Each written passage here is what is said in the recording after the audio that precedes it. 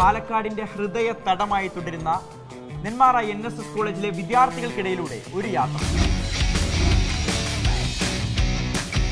മോദി എന്ന് പറയുന്ന ഒരു സ്ട്രോങ് ലീഡറിന് എതിരെ നിർത്താൻ സീറ്റ് വിഭജനം പൂർത്തിയാക്കി കഴിഞ്ഞാൽ ഉറപ്പായിട്ടും നരേന്ദ്രമോദിനെ വീഴ്ത്താൻ പറ്റും. അടുത്ത അഞ്ചു കൊല്ലം ആര് ഭരിക്കണം? മോദി തന്നെ വരും തോന്നുന്നു. വേറൊരാളില്ല.